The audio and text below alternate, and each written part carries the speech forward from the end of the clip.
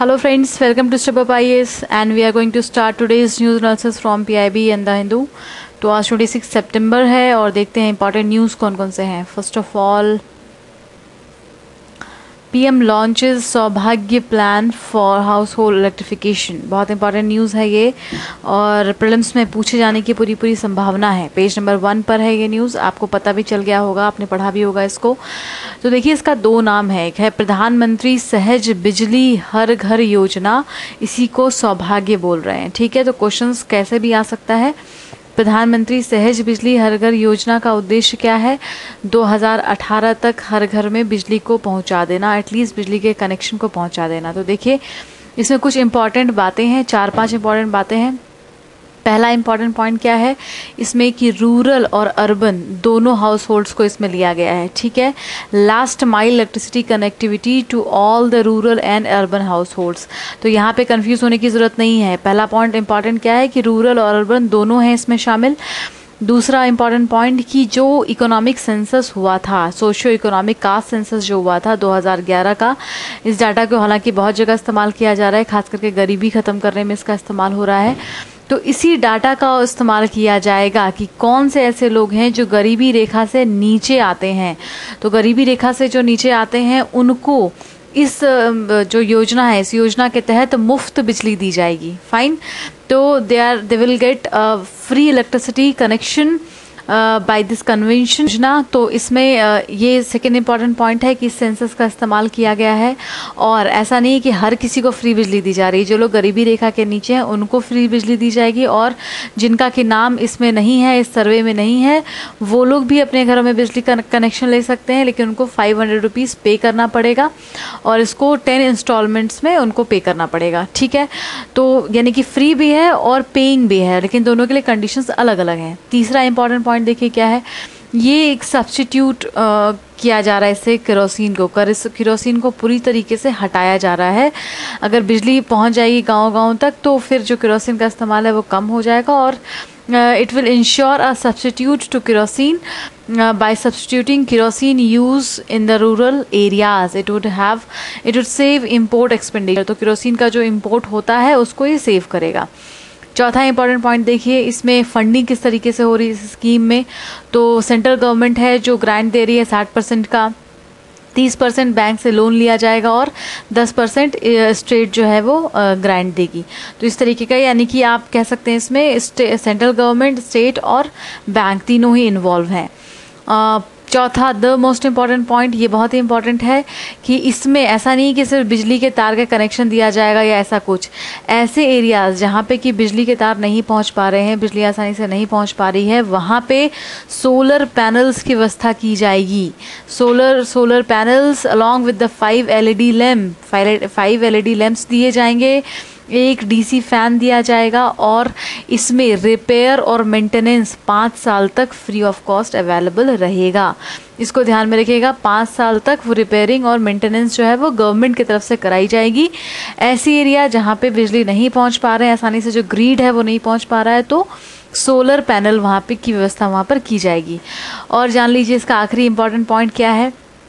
कि इस स्कीम में कौन कौन से राज्य हैं जो शामिल हैं? या अगर क्वेश्चन तरीके से आता है कि फ़र्स्ट फ़ेज़ में कहाँ पर जा रहा है, क्या पूरे भारत में एक साथ इम्प्लीमेंट हो रहा है? तो देखिए, इसमें अभी जो राज्य शामिल हैं, उसमें बिहार, उत्तर प्रदेश, महाराष्ट्र, मध्य प्रदेश, ओडिशा, झारखंड, राजस्थान, कर्नाटका और J and K and north east state इतने राज्य हैं जो इसमें शामिल हैं अभी इस फ़ेज़ में। इसका उद्देश्य है कि 2018 तक हर जगह पे बिजली पहुँचा देना। ठीक है, बहुत इंपॉर्टेंट है, इसको नोट ज़रूर कर लीजिएगा अपनी कॉपी में आप लोग। अगला न्यूज़ देखिए पेज नंबर सिक्स पर है rising water level in Mettur brighten brighten samba prospects तो इसको हमने पहले कई बार डिस्कस किया हुआ मेटूर डैम को अलग डिस्कस किया है और सांबा को अलग डिस्कस किया है। तो क्या आपको याद है कि सांबा क्या होता है? सांबा एक क्रॉप है, ये एक राइस का क्रॉप है, पेडी क्रॉप है इससे आई मीन धान है ये, और इससे चावल बनेगा, ठीक है? तो अब इंपॉर्टेंट है कि मेटूर डैम के बारे में थोड़ा सा देख लेते हैं, मेटूर डैम कहाँ पर है? तो ये लार्जेस्ट डैम में से एक है इंडिया का 1934 में इसको बनाया गया है, और ये कावेरी रिवर पर बना है। It is also called Stanley dam देखिए, ये एक्चुअली बहुत ज़्यादा न्यूज़ में है, रोज़ ही न्यूज़ में आता है कहीं ना कहीं पे। तो इस वजह से थोड़ा सा ध्यान दे दीजिएगा इस पर अगर स्टेनली डैम भी पूछा जाए तो कन्फ्यूज़ नहीं होना है। तमिलनाडु में इसको स्टेनली बोला जाता है और तमिलनाडु ने इससे इसे भी सेवेंटी फाइव ईयर्स का सेलिब्रेट भी किया था। तो ये किस रिवर पर है? कावेरी रिवर पर है मेटूर डैम फाइन अगला इंपॉर्टेंट पॉइंट देखिए कि इसमें जो मिलता है, पानी जो मेटूर डैम को मिलता है, ये काबिनी डैम और कृष्ण राजा सागर जो है डैम वहाँ से मिलता है और ये दोनों डैम कहाँ पे सिचुएटेड है? कर्नाटका में सिचुएटेड है। तो इंपॉर्टेंट है, इसको ध्यान में रखिएगा। अगला इंपॉर्टेंट फैक्ट ये है कि जो सांबा क्रॉप है, ये एक पेडी क्रॉप है और इसको बोने में या उगाने में बहुत ज़्यादा मदद मिल रही है इस डैम के वाटर से। तो थोड़ा सा आप सांबा के बारे में पढ़ ज़रूर लीजिएगा। हालाँकि मैंने इसको डिस्कस किया है ऑलरेडी स्लाइड्स में। अगर आपने इसको पहले से पढ़ा होगा तो ठीक है, वरना आप इसको पढ़ लीजिएगा। अगला न्यूज़ देखिए पेज नंबर सिक्स पर ही है। मारियाना विवेस्वोस्का टू रिसीव 2017 शास्त्र रामाजनन प्राइज़ देखिए आई डोंट नो कि ये क्वेश्चन आएगा यूपीएससी में इतना भी ज़्यादा इंपॉर्टेंट है क्योंकि आ, एक बात मैं और यहाँ पे क्लियर करूँ कि जो द हिंदू न्यूज़पेपर है वो साउथ इंडिया से बन करके आता है। तो आप लोग अगर बहुत ज़्यादा परेशान रहते हैं हर पेज के न्यूज़ को पढ़ने के लिए तो मैं आपको बता दूँ कि हर पेज के न्यूज़ आपके लिए आवश्यक नहीं होते हैं। आपको उन न्यूज़ पे कंसंट्रेट करना होता है जो नेशनली इंपॉर्टेंट हो, जो ग्लोबली इंपॉर्टेंट हो। अब हिंदू न्यूज़पेपर साउथ इंडिया से आता है तो ज़ाहिर सी बात है कि वो वहाँ के रीजनल स्टेट से बहुत ज़्यादा ध्यान देते हैं। तो चार से पाँच पेज तो पूरा रीजनल न्यूज़ पे होता है। तमिलनाडु का, केरला का, कर्नाटका का न्यूज़ में होता है। हाँ अगर उसमें कुछ इंपॉर्टेंट न्यूज़ आता है, जैसे कि कल्चरल इवेंट को लेकर के आता है या कुछ जिसका इम्पैक्ट कि बाकी राज्यों पर भी पड़ रहा है तो उसको हम लोग डिस्कस कर सकते हैं। तो ये जो न्यूज़ है, ये रीजनल न्यूज़ ही है, लेकिन चूँकि हो सकता है पूछ लिया जाए, क्योंकि ये जो प्राइज़ मिला है, ये एक स्विट्ज़रलैंड की यूनिवर्सिटी है, वहाँ पे एक लड़की है, उनको दिया गया Swiss Federal Institute of Technology जो स्विट्ज़रलैंड में है, वहाँ की एक स्टूडेंट को मिला है ये प्राइज़ तो क्या है ये price a press release Sastra Ramanujan prize was establish in 2005 तो देखिए, जो मैथमेटिक्स के एरिया में बहुत अच्छा कुछ कंट्रीब्यूशन करते हैं, बहुत आउटस्टैंडिंग वर्क करते हैं ऐसे यंग स्टूडेंट्स उनको नवाजा जाता है इस प्राइज़ से। तो इसमें एज लिमिट भी तय की गई है। बत्तीस वर्ष तक के स्टूडेंट्स को ये दिया जाता है। अगर उनका कोई अच्छा कंट्रीब्यूशन होता है मैथमेटिक्स के फ़ील्ड में तो। क्योंकि जो श्रीनिवास रामानुजन थे, उन्होंने कई सारे मैथमेटिक्स में कॉन्ट्रीब्यूशन दिए हैं आउटस्टैंडिंग कॉन्ट्रीब्यूशन दिए हैं। तो उन्हीं के नाम पर ये कॉलेज भी है शास्त्रा कॉलेज जो है वहाँ का। तो इसी से इसलिए मैंने इसको यहाँ पर डिस्कस किया है। आई डोंट थिंक कि बहुत ज़्यादा इंपॉर्टेंट है बट हाँ आपके ध्यान में रहेगा और एग्ज़ाम में आ जाता है। तो आप इसमें टिक कर सकते हैं। स्विट्ज़रलैंड की यूनिवर्सिटी है, वहाँ की एक स्टूडेंट को दिया गया ये प्राइज़ तो अगला न्यूज़ देखिए, पेज नंबर चेक कर लीजिएगा यहाँ पे। आई डोंट थिंक ये सिक्स है। आई थिंक ये नाइन पेज नंबर पर है। ठीक है, इसको आप देख लीजिएगा। तो ये काफ़ी इंपॉर्टेंट है अभी सी एस आई आर के बारे में कल ही हम लोगों ने डिस्कस किया है। बॉडी है और साइंस एंड टेक्नोलॉजी जो है वो इस बॉडी को फंड करती है। तो अभी इसका 75 फाइव ईयर्स कंप्लीट हुआ है। उसी की जो प्लेटिनम जुबली है उसको मनाई जा रही है और अब यहाँ पे अगर किसी भी चीज़ का आपको पता होगा कि हंड्रेड ईयर फिफ्टी ईयर या सेवेंटी फाइव ईयर ये सब पूरा होता है तो वो इंपॉर्टेंट हो जाती है। तो ये ऑर्गेनाइजेशन भी अभी इंपॉर्टेंट हो गई है हमारे लिए। हो सकता है इस बार एग्ज़ाम में आ जाए। तो इस पर देख लेते हैं कुछ इंपॉर्टेंट चीज़ों को। C S I R an autonomous body हमने इसको डिस्कस किया था। And it is a integral component of department of scientific and industrial research तो ये जो भी रिसर्च होते हैं, चाहे आपके मेडिसिन में हो रहे हैं या साइंटिफिक कुछ ऐसा रिसर्च होता है तो उसके लिए ये काम करती है। सी आई सी एस आई आर जो है वो काम करती है और ये किसमें आता है? Ministry of science and technology में आता है। एंड uh, बहुत सारे अच्छे अच्छे काम हैं इसके सोशो सोशियो इकोनॉमिक डेवलपमेंट में फिर फोस्टर इनोवेशन ड्राइवर इंडस्ट्रीज़ जैसे आप देखते ही रहते हैं कि जो नए नए ड्रग्स निकालती है कोई नई नई बीमारियों की खोज में इन सब में इसका कंट्रीब्यूशन रहता है। तो इसके कुछ इनिशिएटिव्स हैं अभी फ़िलहाल के, वो देख लेते हैं, उससे वहाँ से क्वेश्चन पूछ लिया जाए। तो पहला है फास्ट ट्रैक ट्रांसलेशन प्रोजेक्ट इसमें काफ़ी सारी टेक्नोलॉजीज़ का इस्तेमाल किया गया है। Project aimed at development of over 100 technologies projects products और the services addressing the societal problem requirements of strategic sector और डोमेस्टिक इंडस्ट्रीज़ तो इसके तहत उन्होंने कुछ हंड्रेड टेक्नोलॉजीज़ को डेवलप करने का सोचा है इतनी सर्विसेज़ का सोचा है कि जो नॉर्मल डोमेस्टिक लेवल पर लोगों को काफ़ी एडवांस बनाया जा सके उनके रिक्वायरमेंट की ज़रूरतों को पूरा किया जा सके। अगला देखिए मिशन मोड प्रोजेक्ट अब यहाँ पे क्वेश्चन बन सकता है कि ये सारे जो प्रोजेक्ट हैं वो आ, किसके अंडर में आते हैं? तो सी एस आई आर के ये सारे इनिशिएटिव हैं उसके ये प्रोजेक्ट्स हैं तो इसको ध्यान में रखिएगा। अब mission mode project is an individual project within the national e governance plan तो ई गवर्नेंस प्लान में क्या होता है कि गवर्नमेंट और नॉर्मल लोगों को जनता को पे लेकर के आ जाना इंटरनेट के प्लेटफॉर्म पे लेकर के आ जाना। तो इसमें आपको पता ही है कि अभी बहुत सारे ऐसे इनिशिएटिव्स गवर्नमेंट के निकले हैं जिसमें इंटरनेट का इस्तेमाल किया गया है और लोगों को आ, जोड़ा जा रहा है इंटरनेट के माध्यम से, सरकार से। तो ये जितने भी ई गवर्नेंस के प्लान हैं, वो इसी मिशन मोड प्रोजेक्ट्स के अंदर आते हैं, जो जिसमें कि कॉन्ट्रीब्यूशन सबसे ज़्यादा सीएसआईआर का है। अगला देखिए टेक्नोलॉजी इन कमीशन सेंटर तो technology incubation centre to create at least 100 startups तो इन्होंने तो 100 स्टार्टअप्स क्रिएट किए हैं। अब अगर आपको मेंस वगैरह में लिखना होता है तो आप ये सारी चीज़ें एग्जांपल्स के तौर पे लिख सकते हैं। इसमें एक बहुत अच्छा प्रोग्राम है, जिसको भी मैंने डिस्कस किया कि ये जिज्ञासा प्रोग्राम यहाँ से क्वेश्चन बनने की पूरी संभावना है। और इसको पहले भी हम लोगों ने डिस्कस किया हुआ है कि जिज्ञासा प्रोग्राम क्या है।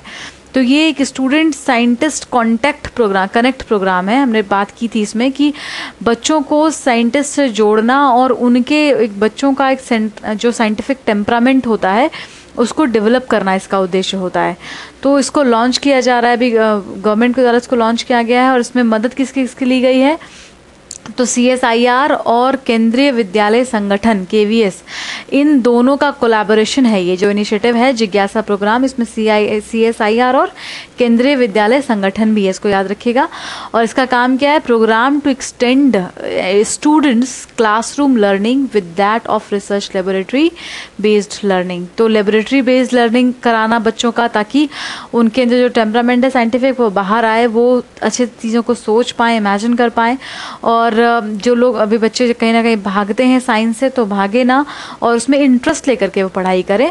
तो इसी का पूरा नाम है जिज्ञासा प्रोग्राम फाइन बहुत इंपॉर्टेंट है ये सारे इनिशिएटिव्स इसको ध्यान में रखिएगा। अगला न्यूज़ देख लीजिए पेज नंबर 15 पर है ये। Free movement pact with Myanmar under review अब यहाँ पे मुझे लगा इसको डिस्कस कर देना चाहिए। प्रिलिम्स पॉइंट ऑफ़ व्यू से इंपॉर्टेंट है या नहीं तो नहीं मुझे नहीं पता। बट uh, हाँ ये आपके थॉट्स क्रिएट करेंगे। ये आप मतलब मेंस में से कुछ पॉइंट्स लिख सकते हैं निकाल के। तो ये क्या बोल रहा है कि free movement pact with Myanmar under review अब म्यांमार के साथ कई सारे ऐसे पैक्ट शामिल मतलब साइन किए गए हैं। अभी जैसा कि प्रधानमंत्री जी वहाँ पे गए भी थे विज़िट करने के लिए तो क्या क्या ऐसे पैक्ट हैं वो देख लेते हैं हम लोग। India is examine the impact of the existing bilateral agreement with Myanmar which allows free movement of Indian and Myanmarese citizens within sixteen kilometre of the border तो अभी क्या हो रहा है ना कि ये जो इंडिया और म्यांमार का बॉर्डर है, अभी हम लोग उसको देखेंगे किस तरीके से टच करता है किस किस स्टेट को। तो वहाँ पे काफ़ी ज़्यादा स्मगलिंग होने लग गई है, आर्म्स की, ड्रग्स की और फेक इंडियन करेंसीज़ को उधर से भेजा जा रहा है या फिर अब रोहिंग्या वाला इशू देख रहे हैं तो वहाँ से लोग इधर आ जा रहे हैं बिना परमिशन के। तो इस तरीके से काफ़ी ज़्यादा दिक्कतें देखनी पड़ रही हैं इंडिया को। तो इसी वजह से ये लोग चाह रहे हैं कि एक रिव्यू होना चाहिए पर्टिकुलरली जो हमारा ये जितने बायलेटरल रिलेशंस हैं, उसको दोबारा से रिव्यू किया जाना चाहिए। तो क्या क्या हमारे एग्रीमेंट्स हैं ऑलरेडी देखिए the bilateral trade between the two countries is around 2.2 dollar billion billion dollar. तो ये दो 2.2 बिलियन डॉलर का हमारा ट्रेड होता है इंडिया म्यांमार का होता है। And there is scope of significant improvement और ज़्यादा इम्प्रूवमेंट करने की और ज़्यादा स्कोप बढ़ाई जा रही है। कैसे बढ़ाई जा रही है? तो एक तो Kaladan multi modal transit transport project है ये जो Kaladan multi modal transit transport project है, इसमें बेसिकली इंडिया म्यांमार को कनेक्ट किया जा रहा है। इसमें सितवे पोर्ट से जोड़ा जा रहा है मतलब पोर्ट हो या फिर रोड हो जिस जिस मेथड से हम इंडिया से म्यांमार को जोड़ सकते हैं, उसमें हर वो चीज़ इस्तेमाल की जा रही है तो कलादान मल्टी मॉडल के बारे में पढ़ लीजिएगा। बहुत इंपॉर्टेंट है ये प्रोजेक्ट और ये किसके किसके बीच में इंडिया और म्यांमार के बीच में। दूसरा एक और प्रोजेक्ट कौन सा है? India, Myanmar, Thailand, Thai trilateral highway. ये तीनों कंट्री का मिलकर एक ट्राइलेटरल हाईवे बनाने की कोशिश की जा रही है। और अगर ये दोनों प्रोजेक्ट कंप्लीट हो जाता है तो हमारी जो कनेक्टिविटी है वो और ज़्यादा बढ़ जाएगी। तो उससे हमारे जो प्रोजेक्ट्स मतलब हमारे जो इन्वेस्टमेंट्स हैं दोनों कंट्रीज़ में वो और बढ़ेंगे और एक जो रिलेशनशिप है, वो स्ट्रेंदन होगा। तो ये सारे पॉइंट्स हम डायरेक्टली कोट कर सकते हैं मीन्स में और आंसर बहुत अच्छा हो सकता है। अगर आप इस तरीके से एग्ज़ाम्पल देते हो कि भाई कैसे स्ट्रेंदन होगा हमारे रिलेशन में या कैसे हमारी कनेक्टिविटी बढ़ जाएगी तो वहाँ पर आप इन प्रोजेक्ट्स का नाम मेंशन कर सकते हैं। अगला देखिए high value capacity of human development project like Myanmar institute information technology in Mandalay तो आई भी वहाँ पे खोला जा रहा है म्यांमार आई मांडले में, ताकि जो प्रॉपर ग्राउंड लेवल पे डेवलपमेंट है वो किया जा सके। ह्यूमन डेवलपमेंट हो, एजुकेशनल डेवलपमेंट हो, और हेल्थ वाइज डेवलपमेंट हो, उन सारी चीज़ों का ध्यान यहाँ पे रखा जा रहा है। तो इस तरीके से हमारे इतने सारे बायोलेटरल रिलेशंस हैं आपस में। एक और देख लीजिए यहाँ पे बॉर्डर हार्ट अब म्यांमार जो है, Myanmar keen to setup border heart ये अभी का न्यूज़ नहीं है, पहले का है। लेकिन हाँ म्यांमार ये चाहता है कि ये बॉर्डर हार्ट जो है, वो इंडिया और म्यांमार के बीच में भी इस्टेब्लिश हो। तो व्हाट इज़ बॉर्डर हार्ट इसमें से कुछ लोगों को पता होगा कि बॉर्डर हार्ट क्या है। देखिए हार्ट आपने सुना होगा हमारे गाँव में बोला जाता है, जब छोटा सा मार्केट लगता है रूरल एरियाज़ में तो उसको हार्ट बोला जाता है। तो यहाँ पे बॉर्डर हार्ट का मतलब क्या हुआ? बॉर्डर पे हाट लगना बॉर्डर पे छोटा सा मार्केट तो जो इंटरनेशनल बॉर्डर होते हैं तो दो कंट्री के बीच में जो बॉर्डर हम लोग शेयर करते हैं, वहाँ पे ऐसा एक मार्केट छोटा सा लगाना ताकि आपस में एक एक्सचेंज हो जो, क्योंकि देखिए कल्चर तो सेम होता है बॉर्डर के जस्ट इधर और जस्ट उधर बहुत ज़्यादा फ़र्क होता नहीं है, उधर के लोगों का कल्चर सेम होता है, भाषा सेम होती है तो उसमें ये हो सकता है कि अगर हम यहाँ पे कुछ ऐसा इनिशिएटिव लगाएँगे तो एक कोऑपरेशन बढ़ता है आपस में एक दूसरे कंट्रीज़ से। तो ये ऑलरेडी वर्किंग है किसके साथ? बांग्लादेश के साथ। तो already three I mean three reasons में, एक तो मेघालय वेस्टर्न त्रिपुरा और साउदर्न त्रिपुरा में ये जो हार्ट है उसको लगाया जा रहा है इंडिया, बांग्लादेश के बीच में। और यही सेम चीज़ म्यांमार भी चाहते हैं कि उनके साथ भी हो। तो बॉर्डर हार्ट क्या करता है? Are allowed to sell local agriculture horticulture projects species minor minor forest products excluding timber मतलब टिम्बर को नहीं कर सकते आप, क्योंकि हो सकता है कि इसकी स्मगलिंग होने लग जाए टिम्बर आप इससे एक्सक्लूड किया गया है, लेकिन माइनर फॉरेस्ट प्रोडक्ट्स जहाँ पे, जिस पे ट्राइबल्स का राइट होता है, अभी हम लोग पढ़ेंगे जो फॉरेस्ट एक्ट है आपका 2006 का, उसमें ये सारे राइट्स दिए गए हैं ट्राइबल्स को। तो वहाँ पे जो ट्राइब्स माइनर फॉरेस्ट प्रोड्यूस का इस्तेमाल कर सकते हैं तो उनको वो इस हाट में बेच भी सकते हैं। वेट एंड ड्राई फिशेस और वुडन फर्नीचर्स हैंडीक्राफ्ट तो जो भी ऐसे मतलब लोकल लेवल पे सामान बनते हैं, उसको उस बाज़ार में ला जा सकता है और एक दूसरे कंट्रीज़ में बेचा जा सकता है। The haat are set up within five kilometre on east side of the international border तो पाँच किलोमीटर के अंदर में ही इसको बनाना होता है। ऐसा नहीं कि दूसरी दूसरी कंट्री में जाकर के उसको हार्ट लगा दो। तो पर्टिकुलर बीच के रीजन में इसको लगाया जाता है। तो बहुत अच्छा है कि एक इंटरनेशनल कोऑपरेशन में मतलब दो बायोलेटरल कोऑपरेशन को बढ़ाने के लिए बहुत ज़्यादा मदद करते हैं ये सारी चीज़ें। तो इसमें यहाँ से क्वेश्चन तो प्रिलिम्स में पूछा जा सकता है कि बॉर्डर हार्ट किसके किसके बीच में अभी है और किस मतलब कहाँ पे इसका क्या उद्देश्य होता है ऑब्जेक्टिव्स होता है तो ये तो प्रिलिम्स पॉइंट ऑफ़ व्यू से इंपॉर्टेंट है और जो पिछले साइड में हमने डिस्कस किया है वो मेंस में आपकी मदद कर सकता है। आ, ये देखिए आपका पूरा रीज़न जो इंडिया म्यांमार का रीज़न है बर्मा बोला जाता था म्यांमार को पहले और काफ़ी ज़्यादा हमारी कनेक्टिविटी है क्योंकि देखिए पहले सारे आपस में बिल्कुल सेम थे अभी बड़ी बड़ी कंट्रीज़ हो गई हैं बांग्लादेश वगैरह सब ये सब इंडिया वगैरह सेम थे राइट देखिए अभी कंफ्यूज होने की आवश्यकता नहीं है। चार राज्य हैं आपके अरुणाचल प्रदेश, नागालैंड, मणिपुर और मिज़ोरम। ये चारों राज्य जो हैं, वो म्यांमार से, के साथ बॉर्डर शेयर करते हैं। तो बांग्लादेश के साथ कौन कौन से राज्य हैं जो बॉर्डर शेयर करते हैं और म्यांमार के साथ कौन कौन से राज्य हैं जो बॉर्डर शेयर करते हैं? ये दोनों जानना आपके लिए अति आवश्यक है। इसको याद रख लीजिएगा कि चार राज्य हैं हमारे देश में जो म्यांमार के साथ बॉर्डर शेयर करते हैं। मिज़ोरम, मणिपुर, नागालैंड और अरुणाचल प्रदेश। अगला न्यूज़ देखिए पेज नंबर सेवनटीन पर है India and South Korea to upgrade F T at earliest तो काफ़ी इंपॉर्टेंट न्यूज़ है ये। इसमें सबसे पहले तो ये बताया गया है कि जो आ, इंडिया और साउथ कोरिया का एफटीए है मतलब फ्री ट्रेड एग्रीमेंट है उसको और एक्सपेंड किया जाएगा और इस पर लेकिन यहाँ पे क्या है expand soon to boost bilateral trade and investment has voiced concern तो ये जो एग्रीमेंट को और बूस्ट करने की बात की जा रही है एक्सपेंड करने की बात कर, की जा रही है लेकिन यहाँ पे एक छोटा सा कंसर्न देखने को मिल रहा है हमारे सामने। तो वो कंसर्न क्या है जो इंडिया और साउथ कोरिया के बीच में है? वो है इंग्लिश लैंग्वेज का कंसर्न ठीक है? The recent bilateral talk in Seoul सा India side the difficulty is being faced by the English teacher तो इंग्लिश टीचर जो इंडियन इंग्लिश टीचर हैं, जो साउथ कोरिया में जाके इंग्लिश पढ़ा सकते हैं उनके लिए कुछ डिफ़िकल्टीज़ देखने को मिल रही है तो कैसी डिफ़िकल्टीज़ है ये? India English language teachers should be getting opportunity to teach primary and secondary school in South Korea this is not being implemented effectively in practice अब देखिए, यहाँ पे एक बात समझने वाली ये है कि जो फ्री ट्रेड एग्रीमेंट होता है, इसमें ऐसा नहीं कि ट्रेड है तो सिर्फ़ गुड्स का ही ट्रेड होगा। ट्रेड गुड्स एंड सर्विसेज़ दोनों का होता है। अब आप इसको पढ़ेंगे बैलेंस ऑफ़ पेमेंट वाला पूरा चैप्टर आप पढ़ेंगे इकोनॉमिक्स में तो हमें जब बैलेंस ऑफ़ पेमेंट निकालना होता है तो उसमें सर्विस और गुड्स दोनों का ही ट्रेड को कैलकुलेट किया जाता है। तो अगर किसी दो देश के बीच में एफटीए है मतलब फ्री ट्रेड एग्रीमेंट है तो उसमें तो फिर सर्विस का भी फ्री ट्रेड होना चाहिए। इस तो यहाँ पे इंडिया का कंसर्न ये है कि भाई इंडिया में एजुकेशन है तो हम हम नॉर्मली इंडिया जो है वो सर्विस प्रोवाइड करने के लिए ही जाना जाता है। चाहे वो as a engineer as a doctor as a teacher as a professor तो यहाँ पे उसी का कंसर्न है कि भाई इंग्लिश टीचर तो हम बन सकते हैं और वहाँ पे हम प्राइमरी और सेकेंडरी लेवल पे स्कूलों में पढ़ा सकते हैं, लेकिन हम पढ़ा नहीं पा रहे हैं। ऐसा क्यों हो रहा है?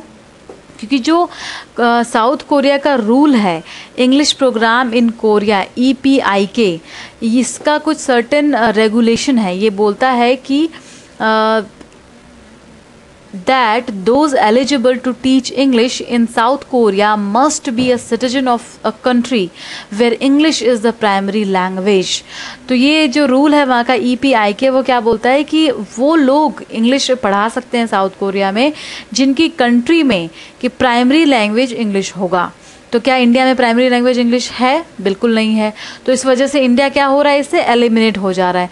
और कौन कौन से कंट्रीज़ में शामिल हो जा रहा है? तो Australia Canada Ireland New Zealand UK US और साउथ अफ्रीका तो साउथ अफ्रीका भी है, इसमें कंफ्यूज मत होइएगा। ये ऐसे ऐसे देश हैं जो इसमें शामिल हैं ई e में, क्योंकि इनके यहाँ पे प्राइमरी लैंग्वेज जो है वो इंग्लिश है। बट इंडिया में प्राइमरी लैंग्वेज इंग्लिश नहीं है, इस वजह से इंडियन टीचर्स जो हैं वो इंग्लिश नहीं पढ़ा पा रहे हैं साउथ कोरिया में। तो कंसर्न इतना सा है कि भाई आप अगर फ्री ट्रेड एग्रीमेंट कर रहे हो, उसको बूस्ट करना चाह रहे हो तो ऐसे जो रूल्स हैं, उसको डाइल्यूट करने पड़ेंगे और हमें सर्विस के सेक्टर में आपको प्रॉफिट देना पड़ेगा। क्योंकि हमारे पास तो सर्विस ही है और साउथ कोरिया के पास क्या है? उनके पास काफ़ी सारे टेक्नोलॉजीज़ हैं एडवांस टेक्नोलॉजीज़ हैं, जो वो इंडिया में दे सकते हैं। बट हमारे पास तो सर्विस है। तो इसलिए ये वाला कंसर्न है, ये काफ़ी इंपॉर्टेंट इशू है, इसको ध्यान में रखिएगा। अब यहाँ पे एक और इशू देख लेते हैं कॉम्प्रिहेंसिव इकोनॉमिक पार्टनरशिप एग्रीमेंट ये क्या है? ये इंडिया और साउथ कोरिया के बीच में हुआ था 2009 में 7 अगस्त 2009 में ये हुआ था। और इसका पूरा उद्देश्य क्या है कि जो हमारा फ्री ट्रेड एग्रीमेंट है, उसको और बूस्ट किया जाए। और जो वर्ल्ड क्लास टेक्नोलॉजी होती है कोरिया की मैन्युफैक्चरिंग सेक्टर में उसका इस्तेमाल करके जो हमारी मेक इन इंडिया इनिशिएटिव है, उसको बूस्ट किया जाए, उसको हेल्प किया जाए और जो स्मार्ट सिटी डेवलपमेंट है उसमें मदद पहुंचाई जाए।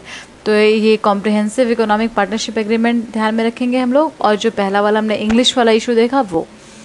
अगला न्यूज़ है माउस डियर तो ये देखिए, द हिंदू में नहीं है बट हाँ ये करंट का इशू है एनवायरमेंटल इशू है, और बहुत ज़्यादा इंपॉर्टेंट है। तो देखिए the Telangana state forest department has reintroduce the endangered mouse deer तो कहाँ पे ये न्यूज़ अभी चल रहा है? तेलंगाना में। फाइन और ये फॉरेस्ट कौन सा है? Nallamala in Amrabad tiger tiger reserve Amrabad tiger reserve में ये जो माउस डियर है, उसको देखा गया है। अब माउस डियर के बारे में जान लीजिए तो इसका जो स्टेटस है IUCN वो क्या है? एंडेंजर्ड है। खतरे में है ये जो माउस डियर है। ये एंडेंजर्ड है क्वेश्चन बिल्कुल आने की पूरी पूरी संभावना है। तो अमराबाद टाइगर रिज़र्व में इसको देखा गया है और ये माउस डियर एंडेंजर्ड है IUCN रेड लिस्ट में। इसके अलावा देखिए क्या है?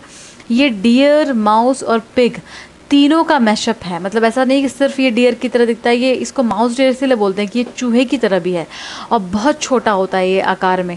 तो it is not considered true deer ये ट्रू डियर तो कंसिडर नहीं किया था बट इसकी अपनी एक फैमिली है।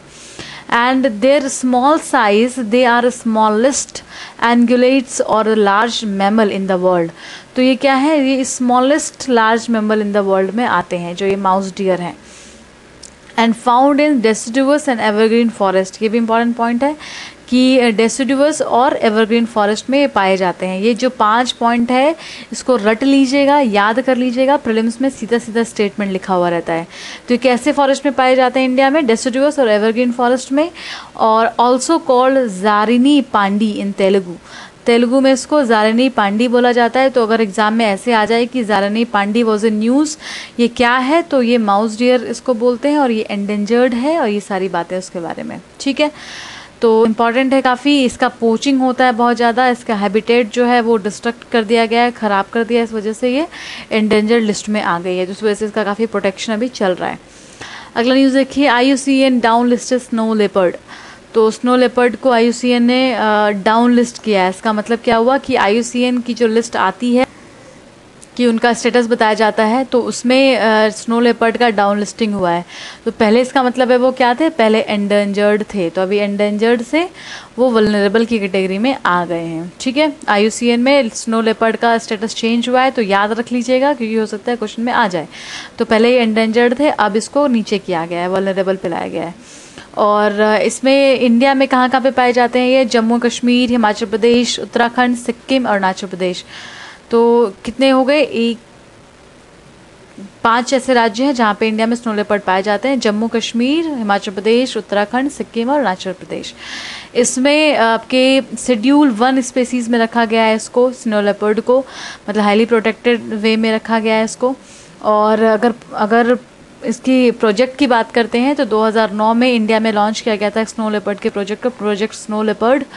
याद रखिएगा 2009 में इसको स्टार्ट किया गया था। इसके अलावा recently UNDP partnered with the environment ministry to launch secure secure के बारे में डिस्कस भी किया है। UNDP ने एनवायरमेंटल मिनिस्ट्री के साथ मिल करके एक प्रोग्राम लॉन्च किया है, इसका नाम क्या है? Secure securing livelihood conservation sustainable use and restoration of high range Himalayan ecosystem तो उसके तहत काफ़ी सारे फाइनेंशियल असिस्टेंस दिए जा रहे हैं इंडियन इंडिया में। चार राज्यों को दिया जा रहा है और जो भी स्पेसीज़ के प्रोटेक्शन का काम है, वो चलाया जा रहा है और स्नो लेपर्ड के कंजर्वेशन और प्रोटेक्शन का काम भी इसमें इंक्लूडेड है, ठीक है? तो इंपॉर्टेंट है ये। ये वाला आई में इसको स्नो लेपर्ड के रैंकिंग को नीचे लाया गया है। मतलब कि ये इसकी स्थिति जो है वो सुधर रही है। अगला न्यूज़ देखिए, बिम्स्टेक डिजास्टर मैनेजमेंट एक्सरसाइज 2017 ये हमने डिस्कस किया हुआ था, कल भी डिस्कस किया था, एक बार फिर से बता दे रही हूँ, ये भी होने वाला है अक्टूबर 10 से 13 तारीख तक। और इसमें बिम्स्टेक जो भी मेंबर कंट्रीज़ हैं, वो सारे पार्टिसिपेट करने वाले हैं। पहली बार इसमें इंडिया इसको कंडक्ट करने जा रहा है और इंडिया में जो एनडीआरएफ है, नेशनल डिज़ास्टर रिस्पॉन्स फोर्स है एजेंसी वो इसको इम्प्लीमेंट कर रही है और जितने भी डिजास्टर डिजास्टर से जुड़े हुए मिटिगेशंस हैं, उसको इसमें डिस्कस किया जाएगा और कितनी, जहाँ जहाँ पे जो भी असिस्टेंस हैं वो प्रोवाइड कराई जाएँगी और कौन कौन से कंट्रीज़ शामिल होंगे इसमें तो वो देख लीजिए। Bangladesh, Bhutan, India, Myanmar, Nepal, Sri Lanka and Thailand. तो आप ये B I M S T यहाँ से फुल फॉर्म देख सकते हैं। इसमें कौन कौन से लोग हैं? बांग्लादेश, इंडिया, म्यांमार आपके ये एस से श्रीलंका और थाईलैंड, ठीक है? अब यहाँ, इसके बाद है इकोनॉमिक कॉपोरेशन तो इसमें दो कंट्रीज़ हैं जो इस फुल फॉर्म में नहीं आती हैं, वो नेपाल और भूटान. तो इसको याद रखिएगा, कल भी हमने इसको डिस्कस किया था, आज मैंने फिर से इसको डिस्कस किया क्योंकि इंपॉर्टेंट है अभी ये ऑर्गेनाइज होने वाला है. So thank you very much thanks lot for being with me here for listening this video और मैं आपको फिर से बता देती हूँ कि एडिटोरियल वीडियोज़ को ज़रूर सुने, बहुत इंपॉर्टेंट है वो वीडियो उसमें आपके थॉट्स इम्प्रूव होते हैं और एक सही मायने में यूपीएससी की तैयारी आप कर रहे हैं। ये आपकी पूरी पूरी मदद एडिटोरियल वीडियो वाले जो एडिटोरियल का वीडियो है वो भी करते हैं। और ये तो हम लोग प्रिलिम्स ओरिएंटेड देखते हैं तो इस पॉइंट्स को ज़रूर नोट कर लिया करें अपने कॉपी में तो बार बार बोल रही हूँ मैं। और मुझ पर आप भरोसा कर सकते हैं कि जो इंपॉर्टेंट न्यूज़ है, उसको मैं कवर करती हूँ। जहाँ पर मुझे लगता है कि एग्ज़ाम में पूछा जा सकता है, उसको मैं ज़रूर कवर करती हूँ। कुछ चीज़ें जो कि काफ़ी आई मीन थेरेटिकल होती हैं उसको इसलिए डिस्कस नहीं किया जाता है क्योंकि वो एडिटोरियल का पार्ट होता है। वो कभी ना कहीं आपके एडिटोरियल्स में आते हैं और उसको बहुत डिटेल में डिस्कस किया जाता है। तो इस वजह से मैं मेंस वाली चीज़ों को इसमें इंक्लूड नहीं करने की कोशिश करती हूँ, वरना आपके लिए बहुत लेंदी हो जाएगा। आपके पास इतना टाइम नहीं है कि आप पाँच वीडियो ही देखते रहें पूरे दिन में एक घंटे की। तो थोड़ा टाइम कंस्टेंट होता है तो प्लीज़ कोऑपरेट मी है and thank you very much thanks lot keep studying